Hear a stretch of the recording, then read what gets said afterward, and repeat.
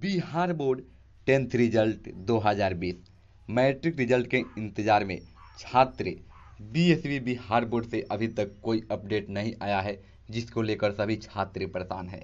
तो यहाँ पर देख रहे हैं कि ये 22 मई 2020 को ही अपडेट किया गया है, जो आज फ्राइडे के दिन किया गया है, और ये सात बज के छप्पन मिनट पर एक पूरी खबरें मिली है। तो चलिए मैं इसकी पूरी जानकारी इस वीडियो में आप सभी को दे दूँ।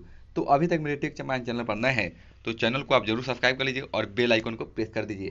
क्योंकि मैं अपने चैनल पर डेली आता रहता हूँ बिहार बोर्ड से संबंधित नई नई वीडियो और पहुँचाता रहता हूँ आप सभी दोस्तों तक। तो चलिए इसकी पूरी जानकारी आप सभी को दे दूँ। तो यहाँ पर देख रहे हैं कि सभी छात्र अपने अपने मोबाइल फ़ोन में रिज़ल्ट का वेट कर रहे हैं। तो यहाँ पर देखिए, Bihar board tenth result 2020 Bihar board दसवीं रिज़ल्ट का इंतज़ार कर रहे छात्रों को गुरुवार को भी मायूसी की ही हाथ लगी।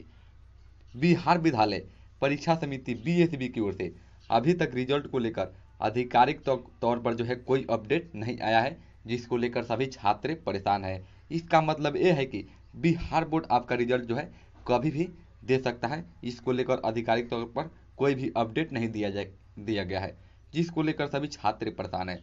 बिहार बोर्ड ने अभी तक यह नहीं बताया है कि रिज़ल्ट किस समय जारी किया जाएगा? इसका मतलब ये भी है कि जैसे ही ट्वेल्व का रिज़ल्ट जो है, एक बाइक जैसे अपडेट किया गया, उसी तरह इसका भी रिज़ल्ट जो है, एक बाइक ही अपडेट किया जाएगा। छात्र, पिछले दो दिन से बोर्ड की ओर से matric result, Bihar board matric result 2020 की घोषणा से जुड़े अपडेट का जो है इंतज़ार कर रहे हैं। बिहार बोर्ड, सूत्रों के मुताबिक वेबसाइट पर रिज़ल्ट जो है, अपलोड करने का काम काफ़ी हद तक पूरा जो हो चुका है। इसके अलावा merit list topper interview verification संबंधी जो भी कार्य है, वो करीब करीब जो है पूरा हो चुका है। यह भी बताया जा रहा है कि बोर्ड ने आगे स्कूटनी व सप्लीमेंट्री एग्ज़ाम का शेड्यूल भी तैयार कर लिया गया है। अगर कोई छात्र इसमें फेल हो जाते हैं तो उनके लिए भी जो है स्कूटनी और सप्लीमेंट्री का जो एग्ज़ाम है, उसका भी शेड्यूल जो है, इसमें तैयार कर लिया गया है। क्योंकि रिज़ल्ट आते आते ही उसका भी एग्ज़ाम और स्कूटनी का जो भी है फॉर्म वो फिलअप किया जाएगा। यहाँ पर देख रहे हैं कि इस साल बिहार बोर्ड मैट्रिक में कुल पंद्रह लाख उनतीस हज़ार तीन सौ तिरानवे जो है छात्र छात्रा इसमें शामिल हुए थे। परीक्षा सत्रह फरवरी से चौबीस फरवरी के बीच आयोजित हुई थी। हाँ और यहाँ पर देख रहे बिहार बोर्ड ने 24 मार्च को ही इंटरमीडिएट का जो है रिज़ल्ट जारी कर दिया था। तो इसमें अस्सी पॉइंट चार चार प्रतिशत जो है विद्यार्थी जो है सफल रहे। इस, इसलिए इसका भी अनुमान लगाया जा रहा है कि इसमें भी इससे कम स्टूडेंट जो है पास नहीं होंगे।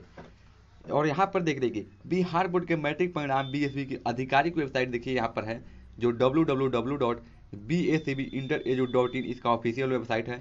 इसके अलावा यहाँ पर W W W dot Bihar board online dot Bihar dot G O V dot in इसका ऑफिशियल वेबसाइट है, और ये है B S C B Bihar dot com इसके अलावा अपने जो है हिंदुस्तान के वेबसाइट पर भी जानकारी ले सकते हैं और वहाँ पर भी आप चेक कर सकते हैं। लाइव हिंदुस्तान डॉट कॉम पर भी जाकर अपनी रिज़ल्ट जो है देख सकते हैं। जैसे ही बिहार बोर्ड दसवीं के नतीजे जारी होंगे लाइव हिंदुस्तान पर भी अलर्ट भेजा जाएगा।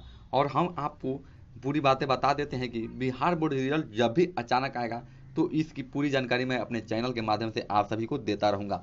तो चैनल को जब ज़रूर सब्सक्राइब कर लीजिए और बेल आइकन को प्रेस कर दीजिए, क्योंकि ऐसे ही नई नई वीडियो आती रहेगी और आप तक हमेशा पहुँचता रहेगा। और इसमें सच्चाई के अलावा अफवाह नहीं फैलाया जाता है इस चैनल के माध्यम से तो आप हमेशा के लिए इस चैनल को सब्सक्राइब कर लीजिए और अफवाह से बचें और पूरी सच्चाई जानें।